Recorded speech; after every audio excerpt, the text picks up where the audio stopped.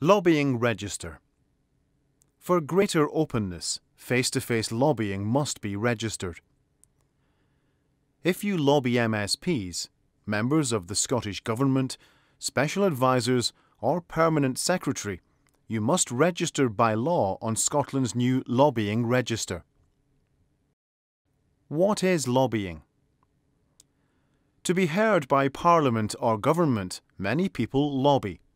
It is a fundamental part of our democratic process.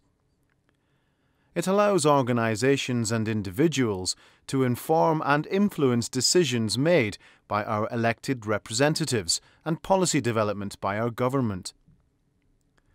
Lobbying takes many different forms and can originate from individuals and interest groups, bodies representing their members or professions, charities and the voluntary sector, and those who act in a professional capacity to lobby others.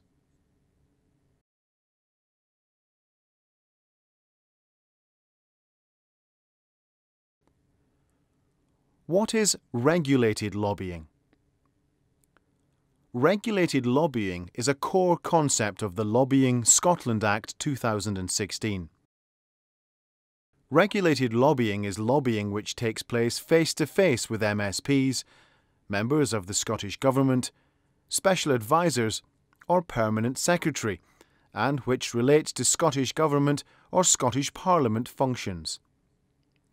From the 12th of March 2018, the Act requires regulated lobbying to be recorded in a new lobbying register. This contact could take place in any situation, not just at formal meetings. To help you understand what regulated lobbying is, please check the five key steps in this guidance and the exemptions that may apply. That should help you to identify if you are engaged in regulated lobbying. If you think you are, we strongly suggest you seek further information guidance at the Lobbying Register website www.lobbying.scot.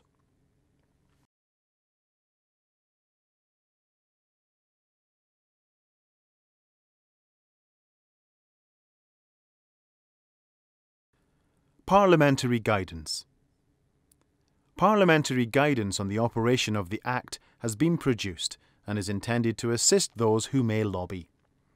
This provides comprehensive information on all aspects of the Act, setting out in greater detail which types of conversations and with whom would require to be registered. In addition to the parliamentary guidance, a common scenarios guide and frequently asked questions have been produced and are designed to help with other practical questions and queries that potential registrants may have.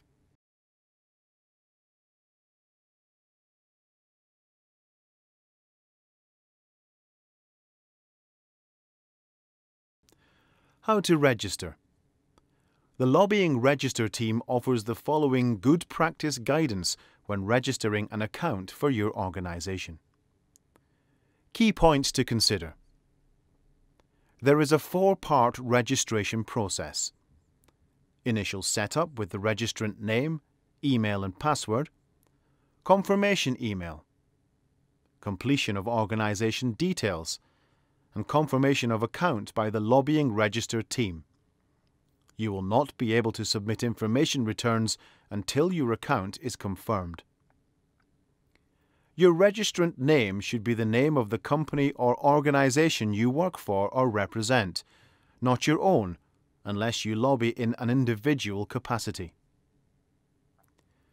We recommend that organisations use a generic email address, such as admin at acme.com or lobbying at acme.com, to set up their accounts, as the Act places the onus on the organisation to submit information returns rather than individuals.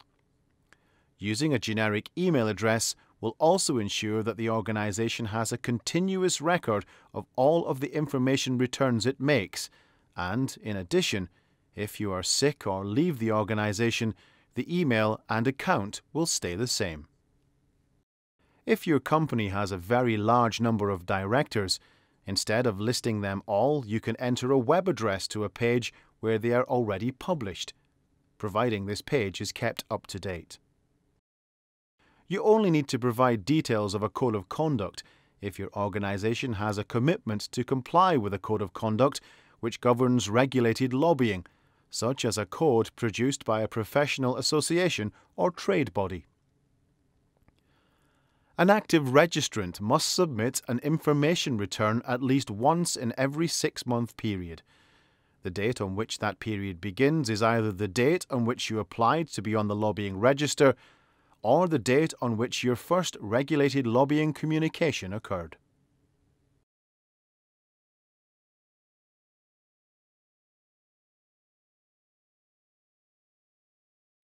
The five key steps. Step 1. I have communicated face to face with a member of the Scottish Parliament, MSP, a member of the Scottish Government, the Scottish Government's Permanent Secretary, or a Scottish Government Special Advisor. If the answer is no, this is not regulated lobbying. If the answer is yes, please progress to step number two. Step 2. I have communicated about Scottish Government or Scottish Parliament functions. If the answer is no, this is not regulated lobbying. If the answer is yes, please progress to step number 3. Step 3. I used the opportunity to inform or influence decisions on behalf of my organisation or those I represent. If the answer is no, this is not regulated lobbying. If the answer is yes, please progress to step number 4. Step 4. I am paid representing the views of my organisation or those I represent. If the answer is no, this is not regulated lobbying. If the answer is yes, please progress to step number 5. Step 5. The other exemptions under the Act do not apply to my lobbying. If the answer is no and an exemption applies, this is not regulated lobbying. If the answer is yes, you have been carrying out regulated lobbying and you need to record this on the lobbying register.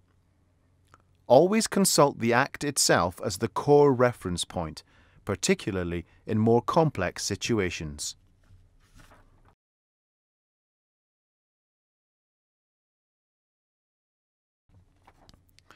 What are the exemptions within the Act? There are 13 separate exemptions in the Act's schedule. To find out more, please contact the Lobbying Register team. How do I find out more?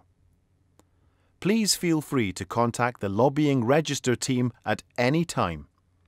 The address Lobbying Register Team, the Scottish Parliament, Edinburgh, EH99 1SP. Telephone 0131 348 5408. Email lobbying at parliament.scot. Visit the website www.lobbying.scot or on Twitter at sp underscore lobbying scot. Calls are welcome in British Sign Language through contactscotland-bsl.org.